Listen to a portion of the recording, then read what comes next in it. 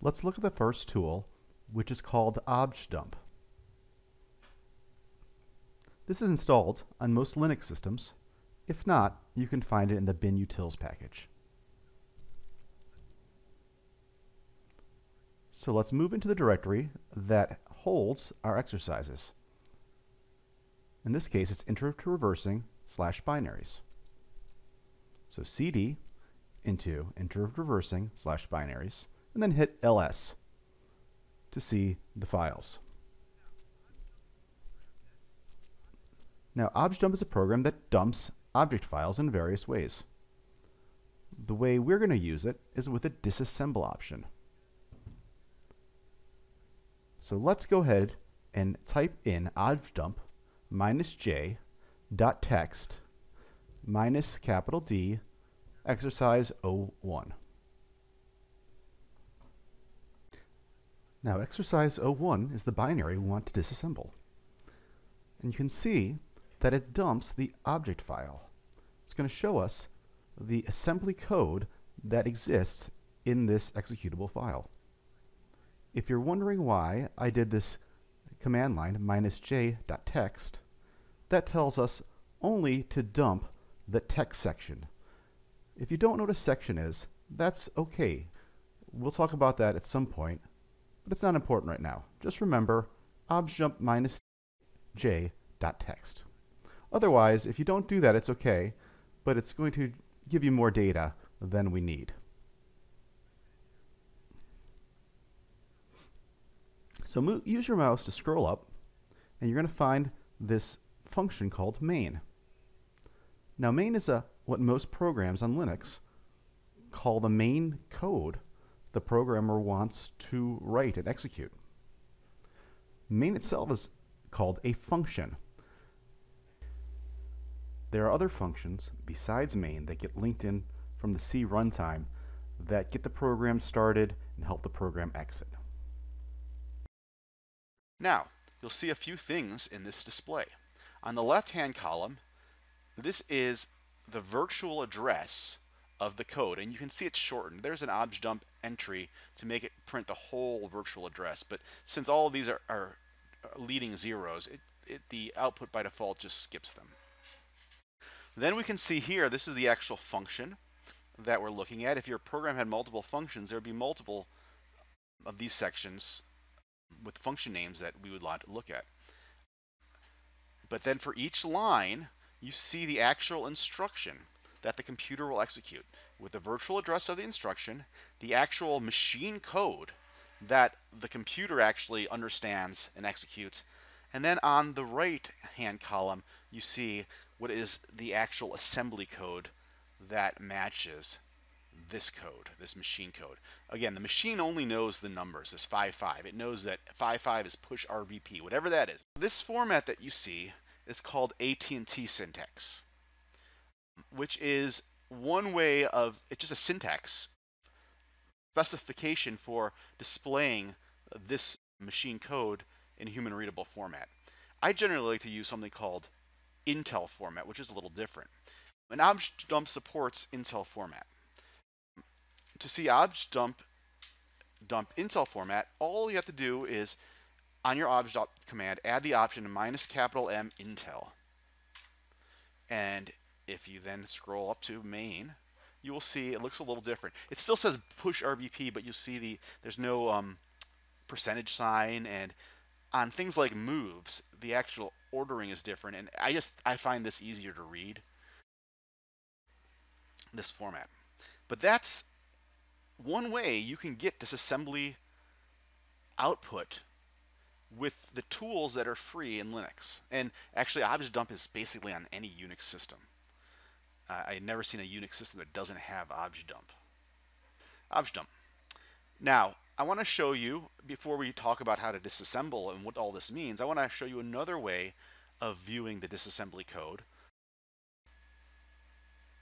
And this is a free site that provides you a GUI-based disassembler, and it has some really nice features that are similar to very expensive commercial disassemblers, like if you ever heard of IDA Pro or Binary Ninja, both excellent excellent tools, but kind of expensive. But the Online Disassembler is a nice free tool that you can use. So go to onlinedisassembler.com and then you can click on the Start Disassembling.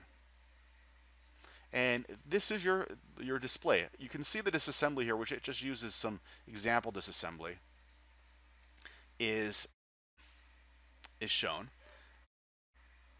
And you have different views. You have a graph view, which shows you what's called the control flow graph. And each of these boxes is a base, what's called a basic block. Don't worry what that means yet.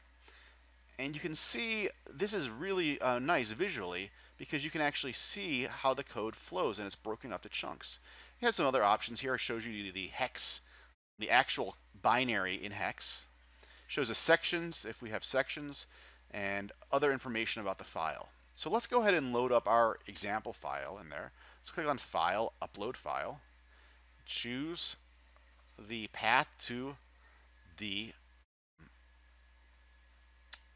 the exercise 1 program. Click OK. And this gives you some options. If different architectures and, and, and depending on the data, the binary you're disassembling, you may have to set some of these features yourself. But with most programs that are straight, you know, uh, Windows programs or Linux programs, you don't need to worry about this. But we will eventually come back to this at some point. But don't worry about this for now. Just click OK, because it's going to choose the defaults that are good. Okay, And then you can see here you have a lot of information available to you. Let's go ahead and make it a little larger. On the left, you have what's called symbols. These are names of useful parts of the program. They might be functions, they might be names of variables. Okay, these are symbols. And this is very useful. You can click on a symbol, for example, main, and the disassembly will jump to that. Okay, so let's move over to the disassembly window. So you can see here, this is very nice. This breaks down the disassembly into basic blocks, okay, which again, don't worry about. And it shows you a little flowchart. You can see how the code flows from this line to this line under certain conditions. It's called the jump not equal. And, and you can see again the uh, section here, text section, the virtual address, again, just like an objdump, you can see the machine code and then the human readable code. And you'll notice this is AT&T format we can click on the graph, and this is really nice. You see a graph. This is the CFG, or the control flow graph, of the function. And you can see this is how the code goes. It goes sequentially up until you hit this last line, and then a decision is made. Do you go to red or you, do you go to green? And this gives you a flow you could, so you can see visually. And I really like these um, the graphing features. IDA has it, Binary Ninja has it, and Online Disassembler has it. The objdump does not have this, which is one reason why this Online Disassembler is nice. If we click over here to Hex, you can actually see this is the the code, okay, of the binary. And you can click on, so this is just the hex code. I do not believe you can edit it. No, you cannot edit it, but you can view the code. If you click on sections, you will see all the sections in the file. And don't worry, we don't know what a section is yet. Well, unless you do know, but I don't expect you to know what a section is yet. Just remember, we're looking at the text because that's where all the executable code, code goes. You would think text sounds like something that you would write, like it wouldn't be executable code, but it actually is executable code. And then we have file information, which has information about the file itself. The name, the format, the object format, some of the attributes of that, that file, the size of the file, an MD5 checksum, and a SHA-1 checksum. And then it, it, apparently it's got some checks for malware in here. Okay, So that's just our quick introduction to getting the disassembly with objdump and also this online disassembler, which again is a really nice tool it has a lot of nice features. One of the other features here is strings.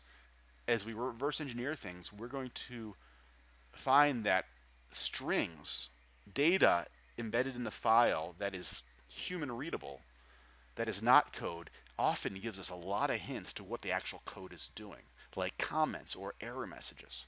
We can search for patterns in, in the file, and we can actually define structures. We're not going to talk about structures yet. But this is really nice online disassembler. It gives you a lot of features. All right, that's all for today. Check back us uh, with, on, with us on our next episode. If your organization requires serious security training, we provide in-house and off-site classes. Check out our website, www.paladingrp.com.